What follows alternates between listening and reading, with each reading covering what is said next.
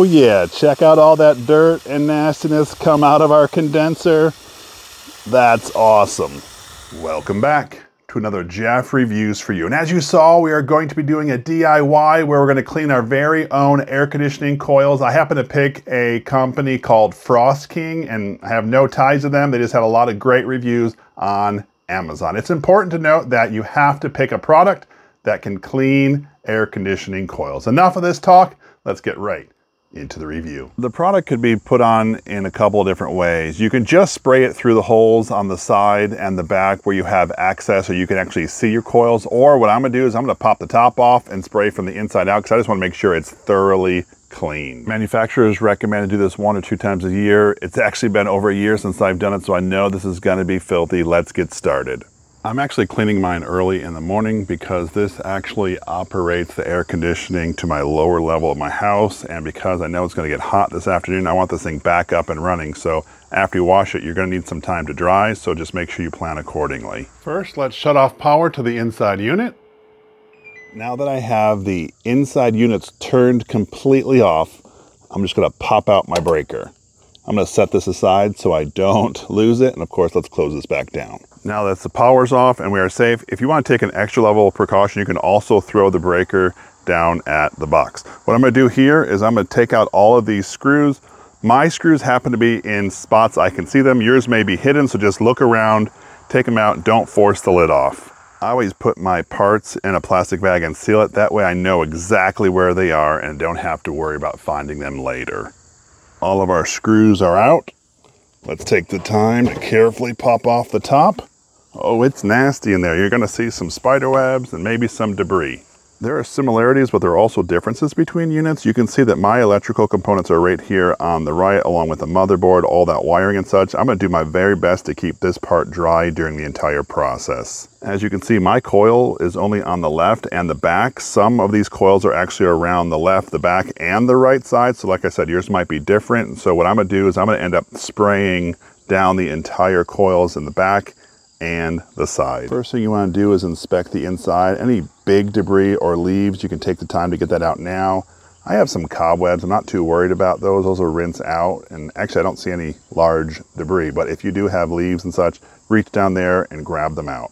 Cleaning out the debris in the back is very important. I've been taking time out here about 20 minutes. We used to have a duck that used to hide behind here and man, there are duck feathers still in this thing. So just take the time to clean it out. I did want to talk a little bit about the particular can that I purchased. As you can see, it is by the company called Frost King and it's an air conditioning coil foaming cleaner. Make sure to note that this was specific for air conditioning coils. There are other cleaners out there that you just don't use unless they say it's for air conditioning coils. They have provided pretty detailed directions on how to maintain safety as long as what to do if it comes in contact with your eyes or skin. So make sure you read your directions before using it.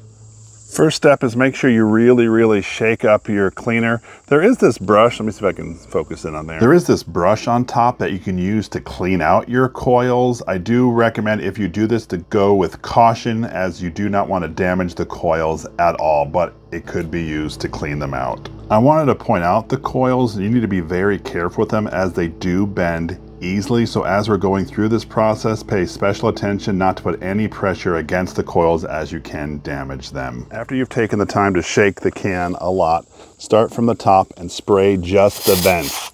You can see that it immediately starts foaming up and that's what it's supposed to do because it's getting there and targeting all the dirt. This one happens to have a little bit of a lemon smell, so it smells pretty good. Now the side is cleaning, let's work on cleaning the back.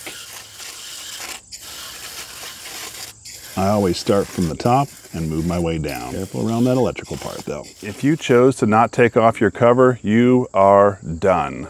They do say you don't have to rinse this off, although it's something I'm absolutely gonna do. However, since I took the time to take the cover off, I'm also gonna spray from the inside out, all the way down from the top. It's got a good stream on this, so you're good to go just spraying it in there. Remember, stay away from your electrical. Because it's been a significant period of time since I've cleaned this before, I'm actually going to use this brush head to gently go up and down the grates. Look at that dirt that just came off. I mean, that's a lot of dirt.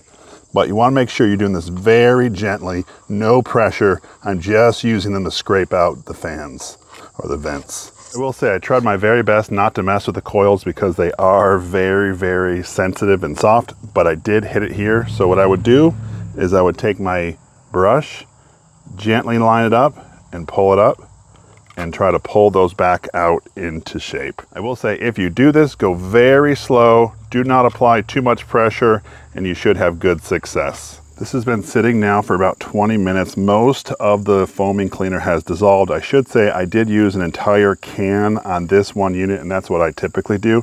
Now I'm just gonna get my hose out and just start rinsing this out.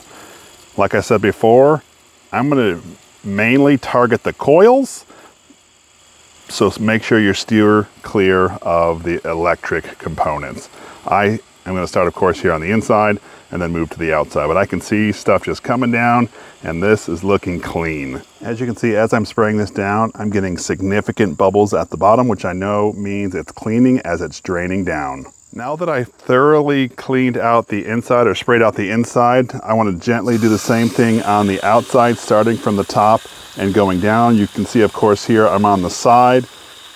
Once I've gotten all the way down to the bottom here on the side, I'm gonna go to the back.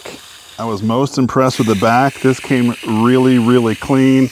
Like I said, I did take a little extra time to use the brush to clean out the grates from top to bottom and then bottom to top. Now I'm just rinsing out the system. I'm always amazed with how clean it is after I'm done. I should say total time took about an hour and that's shutting off units, pulling power, taking the top off, spraying down the unit and then letting it sit for 20 minutes. And then I do a thorough rinse out to make sure all the soap is out and all the cleaner is out. Now I'm gonna let it sit here for an hour, maybe two, let it completely dry out before firing it back up again. I will put the top on during the interim, but in about two hours I'll check back in and we'll fire it back up. So tell me, what are your thoughts of these air conditioning cleaners? Have you used one? You looking to try one? Let me know down in the comment section below. I would love to hear from you. I wanted to take the time to show you a side-by-side -side of the coils so you can see exactly how clean they got. They are impressive from before to after and all it took was an hour.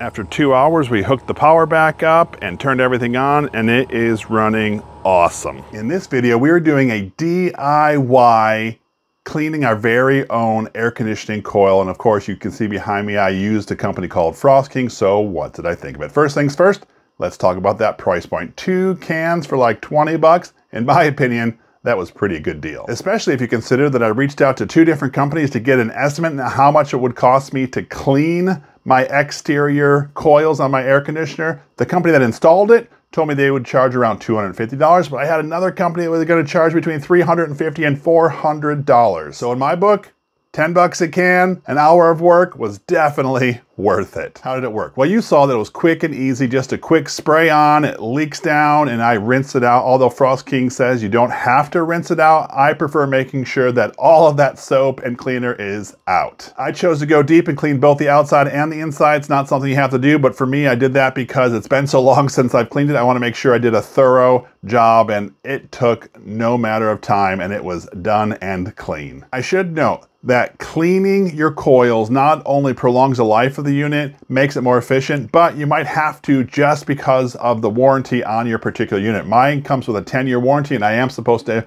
clean it at least two times a year. Anyway, as long as you are being safe and follow the directions on the side of the can, pulling that power and keeping away from your electrical, this is a pretty easy job. If this is something that interests you, I will leave a link down in the description. This is Jeff with Jeff Reviews for You. As always, thanks for stopping by and hope you have a great day. Since I'm cleaning out the outside condenser, I also take the time to spray out the inside filters or replace the filters just depending on the unit.